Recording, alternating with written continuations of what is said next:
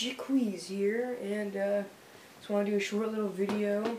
Finally got an actual camera here. I got the Coolpix L340, and so anyway, this uh, it's 20.2 megapixels, 28 times uh, zoom. Hmm, it, it has autofocus, thank you, Lord. Um, it's pretty compact. It's here's my old camera. It's about actual size on the box, so it's like that big. A comparison to my old camera. Let's see if this is anything. It's a little smaller than this. Um, so anyway.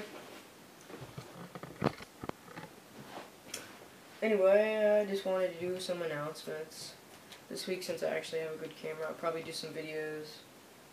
I don't know if I'm going to do reviews. I, I don't know. So, uh, yeah, I just want to tell you guys I got a new camera.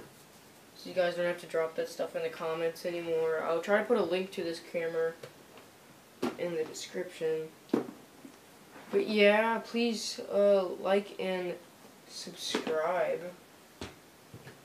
guns up. And uh, like the video, please subscribe, and have a good time, guys. So, uh,